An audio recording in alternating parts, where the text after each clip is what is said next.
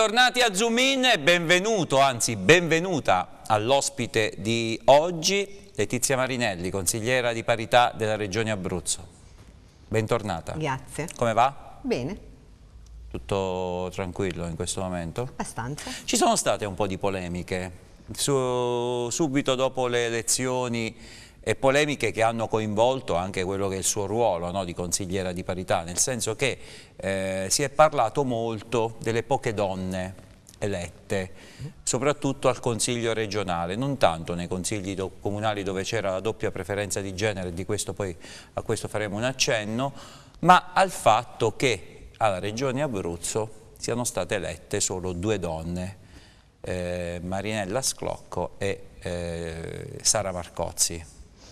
Perché queste polemiche?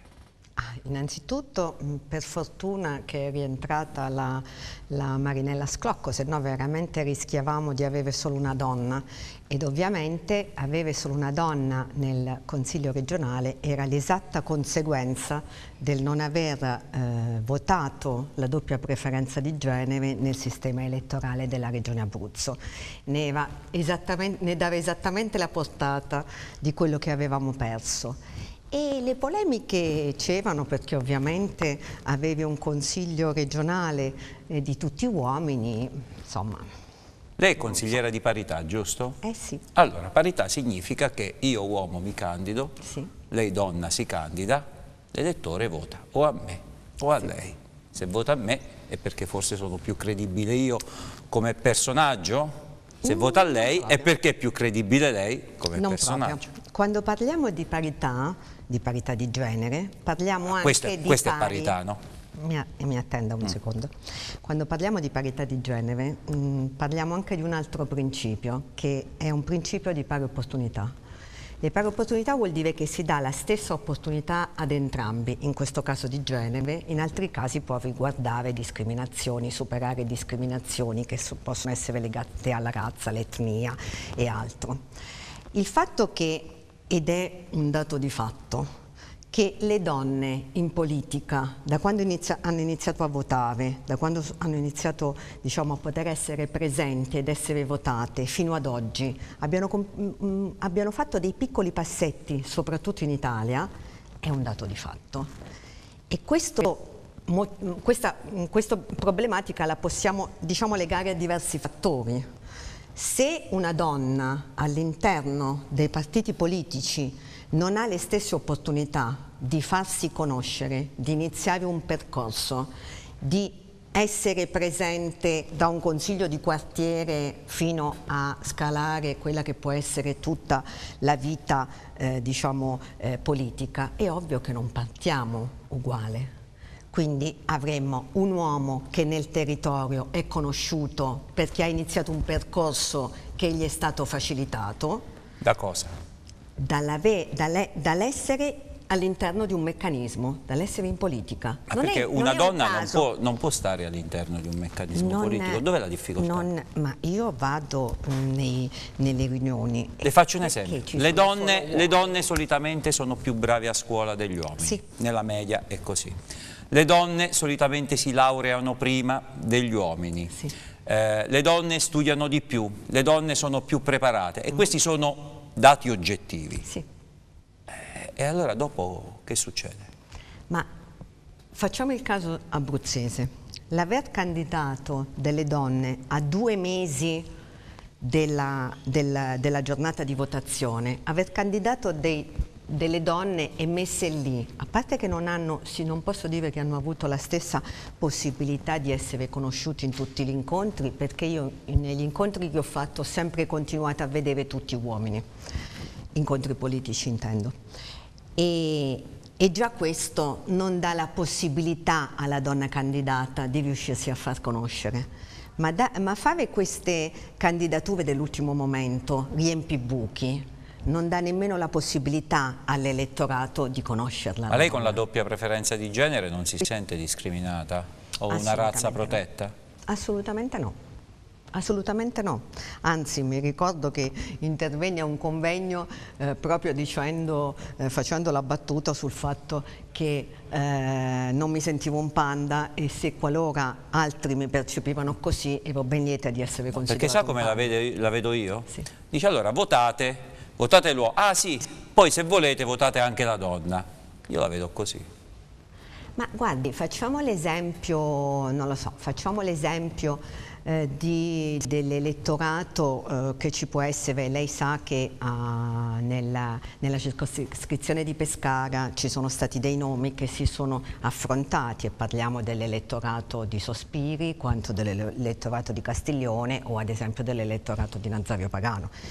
Allora, nella stessa circoscrizione inserire una donna che aveva un volto sconosciuto, lei pensa che poteva avere le stesse opportunità? Lei pensa che partivano uguali? Lei pensa che nel momento in cui si andava ad eleggere, eh, si andava tecnicamente a votare, le persone che vedevano un volto completamente sconosciuto avrebbero potuto votare donna? Ma lei pensa che l'italiano medio quando va a votare sceglie una persona per perché questa persona ha avuto più opportunità, perché ha, eh, ha, partecipato a più riunioni, ha partecipato a più incontri, oppure perché la sceglie perché si fida? No, la allora, io, io, dico io sempre credo... che una persona, a un italiano, uno può chiedere anche i soldi in prestito e magari 5-10 euro li ottiene, ma se chiede il voto è difficile che lo ottiene, perché è una delle cose più difficili da avere. Guardi, che noi abbiamo un, un, secondo problema, che è quello dato dal fatto che le donne non votano le donne, è un dato di fatto, perché l'elettorato abruzzese è composto maggiormente da donne. E quindi già solo questo ci dà un secondo riferimento, io le dicevo all'inizio, di, di concause, di tante motivazioni. Ed è ovvio che la seconda motivazione è data dal fatto che donne non votano donne perché se solo tutto l'elettorato abruzzese si metteva nelle condizioni di votare donna, probabilmente avremmo avuto sicuramente Se io avessi da votare presenza. una Merkel o una Thatcher, forse la voterei. Beh, questa è una terza causa, una terza concausa, nel senso che la scelta di eh, persone che vengono candidate probabilmente non sempre è azzeccata, ma considerando che la politica è fatta di uomini... Chiedo scusa, con prego. tutto il rispetto, tra la Thatcher e la Merkel, Thatcher buonanima, e la Minetti, beh, insomma, se, se, la, se, devo, se devo scegliere preferisco un uomo, no? Ma sicuramente questa valutazione l'avranno fatta in tante, Uh, ma sicuramente è anche vero che nel momento in cui uh, ci sono queste, uh, diciamo come le dicevo all'inizio, queste candidature dell'ultimo momento dove donne non possono essere, diciamo non si possono far conoscere per il lavoro che svolgono anche sul territorio, è dura, avere, um, cioè è dura per chi le deve votare. Senta, ha incontrato il nuovo Presidente della Regione? Mm, non ancora. Quando pensa di incontrarlo? Penso che aveva a breve. Il suo mandato quando scade? L'anno prossimo. Eh, pensa che sarà rinnovato? Non è sicuramente una questione che mi sto ponendo adesso, a parte che potrei anche essere stanca di tutte queste diciamo, difficoltà che ho incontrato nello svolgimento del, del mio ruolo è un ruolo sicuramente molto scomodo. Mi auguro che il nuovo Presidente possa voler valorizzare il ruolo della consigliera di parità e soprattutto dare strumenti adeguati, visto che il mio lavoro è stato osteggiato moltissimo. Ecco, a proposito di strumenti, eh, quali sono le difficoltà che lei quotidianamente incontra? Cioè, quali, di quali strumenti avrebbe bisogno e di quali strumenti invece non ha la disponibilità? Allora, mm, innanzitutto c'è sicuramente eh, la difficoltà nel far comprendere il ruolo della consigliera e questa è una, una, difficoltà che io incontro non semplicemente per diciamo, i non addetti ai lavori, ma anche per gli addetti ai lavori che ancora creano confusione, fanno confusione o reputano non importanti andare ad approfondire anche solo la differenza che ci può essere tra una consigliera di parità regionale ed una presidente di una commissione di pari opportunità regionale. E vedo pure... Sono due ruoli differenti. Sono due ruoli differenti, due leggi differenti, due mh, organismi differenti, uno è collegiale, l'altro è monocratico. Pur, purtroppo molto spesso eh, queste... Ehm, la miriade di organismi di parità esistente eh, rende difficile diciamo, alla persona esterna eh, mh, comprendere cosa fanno, co cosa quali sono proprio gli strumenti, quali sono eh, le, i poteri che hanno. E, però io appunto sicuramente tornando al discorso, eh, alla domanda che lei mi faceva inizialmente, c'è una difficoltà che sono gli addetti stessi ai lavori. Che non A lei quante persone di... chiedono magari quotidianamente, ma in pratica che cosa fai? Ma guardi, me lo chiedono mm, in pochi, ma il problema è che non se lo chiedono le persone che sono gli addetti ai lavori e potrei mm, veramente uscire fuori con tante cose, ma insomma. E sì, capita talvolta che me lo chiedano mm, in generale, io posso dire che c'è una profonda differenza tra un organismo che è un'estrinsecazione di una eh, parte politica, di un organismo politico e quindi parliamo di una commissione che sia essa regionale o provinciale, con un ruolo di una consigliera che dipende da una legge mh, mm, eh, nazionale e dove la legge stessa che dà una serie di riferimenti ben precisi. E poi non ci dimentichiamo che ad esempio la commissione eh, di pari opportunità regionale è un organo consultivo cioè, e quindi è, è, è quell'organo che viene ascoltato in tema di parità dalla Giunta o dal Consiglio, perché è stata inserita anche la Giunta ultimamente nella nuova modifica di legge regionale, ma come eh, parere e questo la Commissione regionale non lo fa.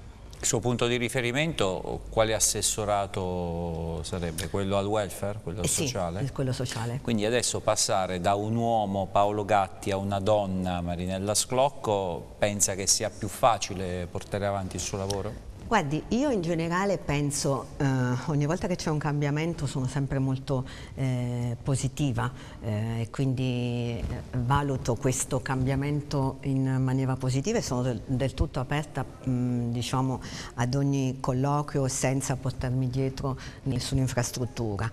Eh, il fatto che ci sia una donna mi auguro che eh, possa essere un elemento eh, diciamo a mio favore, eh, con la quale poter collaborare, con la con quale poter eh, parlare eh, diciamo lo stesso, eh, lo stesso linguaggio per certi versi. Si è parlato molto di, degli emolumenti, di, di quanto costasse questa figura della consigliera di pari opportunità. Sì. Il suo è sempre lo stesso, quindi quanto... Sì, sì, il mio è sempre lo stesso, c'è un'indennità che è pari a 180 euro lorde, adesso si sta aspettando il Al nuovo mese. decreto, sì.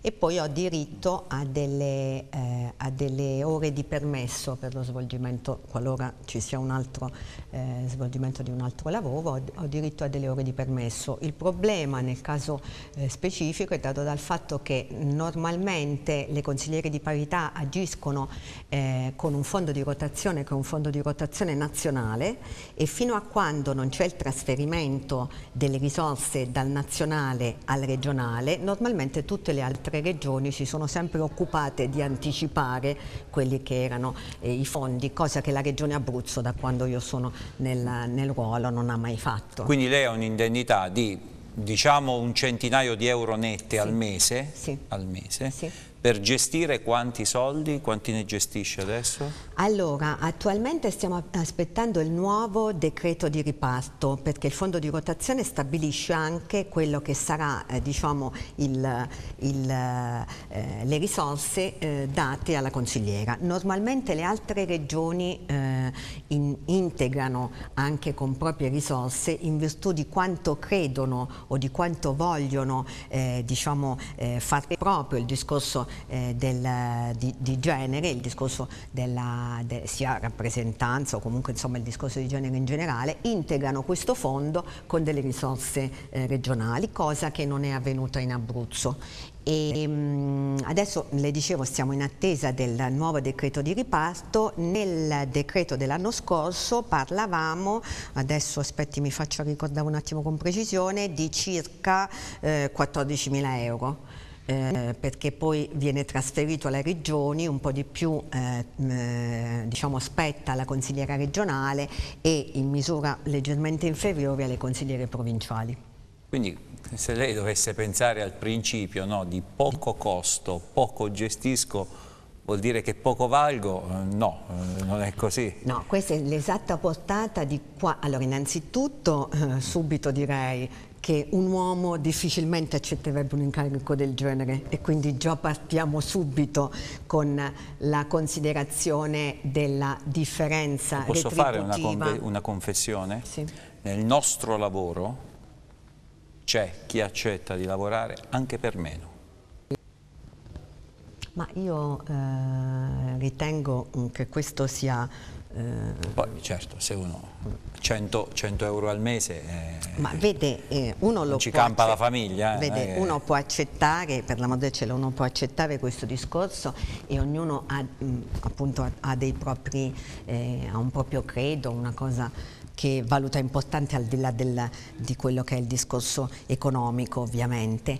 E, e qual è il, il ragionamento? Il ragionamento è però che ci rende l'esatta portata di quanto si crede al discorso della parità di genere. Ci si crede? Se, no, assolutamente no, perché se le consigliere di parità hanno da gestire un fondo così esiguo... 14.000 euro hanno, sono nulla. Sono nulla, ma eh, e quindi indipendentemente... Eh, quindi 14.000 euro l'anno? L'anno. Meno le spese del, per il caffè. Parlo 13.000, con precisione, parlo del riparto dell'anno scorso, adesso siamo in attesa del riparto di quest'anno. Che farà D'Alfonso? No, che no, viene fatto dal viene nazionale, fatto dal nazionale. un fondo di rotazione nazionale, ma la cosa anche antipatica di questo fondo di rotazione nazionale è che io ebbi modo proprio ad una riunione con l'allora ministro Fornevo di, di voler osservare che assolutamente non ha eh, senso far arrivare questo decreto di riparto in maniera così ritardata per cui non si sa nemmeno di quante risorse si ha a disposizione e allora meglio saperlo subito anche se sono poche, ma me lo dovete dire all'inizio dell'anno, non a distanza di un anno dalla gestione. E quindi noi abbiamo delle, delle difficoltà proprio di gestione nella... Ma non si riesce nemmeno ad organizzare con fondi di questa portata almeno una campagna informativa dignitosa, secondo me. No, assolutamente no, ma come le dicevo purtroppo la Regione Abruzzo è tra quelle regioni che non punta nel discorso della parità, non ha puntato fino ad oggi, noi ci auguriamo che con il nuovo Presidente possa avvenire qualcosa di diverso. Nella Regione Puglia hanno creduto fortemente in questo discorso della parità, eh, sia supportando la consigliera di parità, sia creando una struttura ad hoc che potesse intervenire in maniera efficace sul territorio. Nella Regione Regione Liguria normalmente stanziano circa, eh, circa 150.000 euro in più annui in aggiunta a quello che è previsto eh, dal fondo di rotazione. È un modo di credere o non credere nel discorso della parità di genere. Eh, lei pensi che in un parità discorso... di genere non. Sì, lei pensi che in un discorso di parità io ho sempre pensato che la parte svantaggiata fossimo noi, mi piacerebbe non toglierle questo, questo pensiero. Io, io l'ho sempre avuto, guardi. Eh, mi dispiace veramente toglierle io questo Io vorrei avere un consigliere pensiero. di parità per gli uomini, perché... Allora, allora, innanzitutto mi dispiace toglierle questo pensiero, ma le statistiche dimostrano diverso e quindi mh, mm, voi non siete il sesso debole, ma il sesso debole sono le donne in, in, in, primis. In seconda battuta non è da escludere che non ci possa essere un consigliere di parità uomo, così come io avevo avuto modo di osservare nella, eh, nella composizione della Commissione di pari opportunità regionale della Regione Abruzzo, che mancata, il mancato inserimento di almeno uno dei tre uomini che avevano fatto domanda per essere inseriti all'interno della Commissione stessa era innanzitutto un non rispetto del principio di parità in genere, in questo caso in danno dell'uomo, ma in ogni caso non poteva esistere una... Lì si può vedere come chiaramente abbiamo ghettizzato e quindi per tornare al discorso suo iniziale, il discorso dei panda, lì andiamo a ghettizzare, perché lì, lì noi diciamo, voi Commissione per l'Opportunità Regionale, tutte donne, mettetevi a parlare pure lì perché tanto sono discorsi di Guardi, io di sono del parere che è rimasta una sola enclave prettamente maschile, che quello è il calcio per il resto poi ci avete tolto tutto e di più, di tutto e di più. Mi dispiace che le statistiche Questo... non siano queste, le tolgo una convinzione proprio, non lo so, sono desolata di questo fatto, ma non è così. Senta, ritiene che, eh, visto il bagaglio che si porta dietro con D'Alfonso, sarà difficile parlare? Ma io mm, sono assolutamente appunto, mm, speranzosa totalmente ottimista. Il fatto che a livello nazionale abbiamo un, un uh, Renzi che ha dato tutta questa possibilità eh, diciamo, e spazio alle donne mi fa ben sperare che possa essere ripreso un discorso di importanza, eh, un discorso di, di, rispetto, di parità di genere, di rispetto di pari opportunità anche a livello regionale. E, e quindi mm, No, sono, sono ottimista. Di come invece stanno andando le cose nei comuni, nelle amministrazioni comunali, con le giunte dove le quote rosa devono essere rispettate, allora, è soddisfatta? Assolutamente sì. In quel caso abbiamo l'esatta portata di come l'inserimento delle quote, che io chiamo quote di, eh, di parità, più che, di, mh, più che, quote rosa, eh, mh, lì ci dà l'esatta portata di come il sistema può funzionare. E, quindi e ci delle, sono donne. E delle donne che sono chiamate a fare gli assessori all'interno di una giunta, lei ritiene che siano tutte brave e preparate oppure vengono chiamate perché devono stare lì per una, per una legge dello Stato? e se non ci fosse problema... stata questa legge sarebbero state lì lo stesso? Allora penso che sicuramente questo problema è, vale tanto per un uomo tanto per una donna. Perfetto. Quindi se la donna non è brava può non essere anche bravo l'uomo. Il problema è che noi siamo sempre e solo attenti a dire che quella donna è lì per altro. Abbiamo probabilmente un pregiudizio, che è un pregiudizio culturale, abbiamo un... Beh, pregiudizio atavico questo. Atavico, eh. atavico, perché non si è mai sentito e noi penso, mi permetta... Ma si perde nella notte dei tempi, no? no? mi passi il termine, di carciofi ne abbiamo avuti tanti sì. e mi passi il termine, ma ca eh, guarda caso non si è mai detto di un uomo ma quanto è tra virgolette carciofo, quanto non è preparato, si è solo e sempre pronti a dire quanto non è preparato una donna. Ah no, no, no anche per gli uomini... Mm No. Viene detto, le posso no, garantire. In politica che... no, in politica no. E guardi cosa accade agli allenatori di calcio, figuri. In politica questa cosa non accade, non, non, si è mai detto, eh, non è un... Comunque, eh, detto questo io ritengo che eh, il fatto che ci siano delle donne eh, non si deve nemmeno andare dall'altro lato continuando a pensare ma perché non esistono donne preparate che possono essere lì anche questo mi scusi. Io gliel'ho detto prima, siete molto più bravi a scuola, più bravi all'università, studiate di più, vi sì, laureate infatti, anche prima. Infatti, eh. infatti un, le statistiche dimostrano che proprio negli ambiti diciamo, dove effettivamente la meritocrazia può esistere, e quindi parliamo dei concorsi pubblici, parlo ad esempio dei concorsi di magistrato, eh, dove le donne sono tantissime, parlo anche dei, eh, dei dirigenti pubblici dove rispetto diciamo, agli uomini abbiamo una buona tenuta e, e quindi eh, anche lì c'è possibilità di, di poter vedere delle sono donne. Sono quasi tutte donne.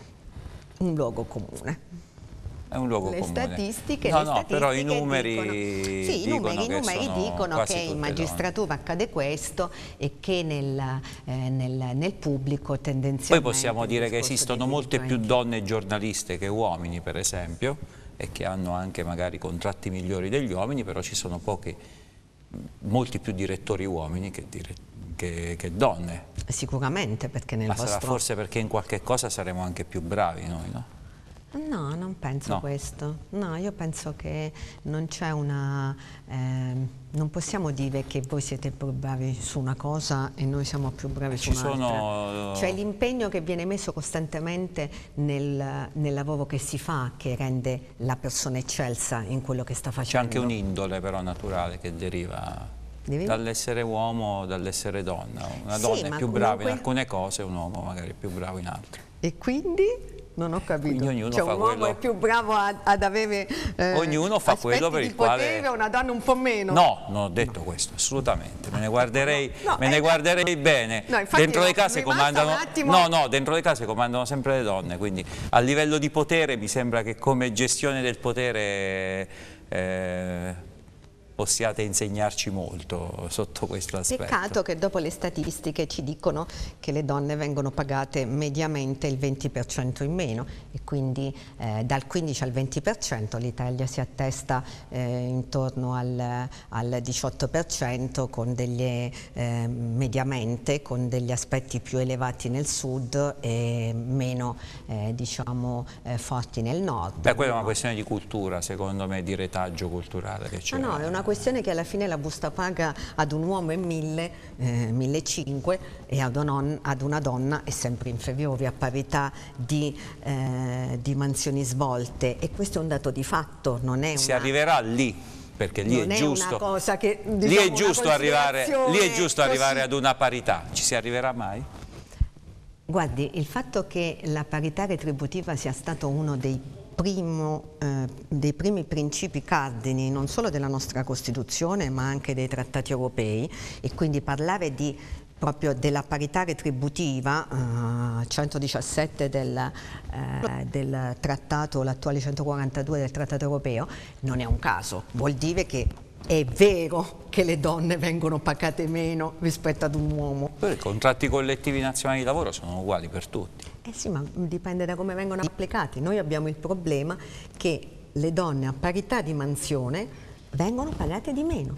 Questo è un dato di fatto e questa è una discriminazione. Una discriminazione di genere ad origine del sesso, in questo caso donna, non uomo. Non è per toglierle un...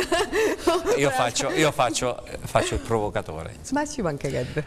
Grazie per essere stata con noi. Ci riverremo quando magari avrà incontrato D'Alfonso, quando saprà, conoscerà Magari qualcosa di più del suo, del suo futuro, di che cosa eh, accadrà alla consigliera di parità della Regione La Abruzzo. consigliera di parità continuerà a svolgere il suo lavoro fino alla fine del suo mandato, continuerà a sedersi a tutti i tavoli di sorveglianza portando tutte le osservazioni per poter modificare la situazione delle donne in Abruzzo, ma modificarla non a chiacchiere ma a fatti, con numeri, con il fatto di voler effe- effettivamente arrivare ad una modifica della situazione attuale delle donne in Abruzzo. Quando poi la consigliera di parità ha finito il mandato, ha finito il mandato. Magari troverà il Presidente questa volta che vorrà eh, credere nel discorso di, di parità, investire risorse e quindi sia nel discorso della parità di genere e finalmente iniziare a prendere il discorso del contrasto alla violenza sulle donne in una maniera efficace. Grazie Letizia Marinelli. In Grazie bocca al lupo per il suo lavoro, difficile, complicato e poco retribuito, devo dire. Un gettone di 100 euro, insomma non è il massimo della vita. Grazie a voi che ci avete scelto e seguito anche oggi.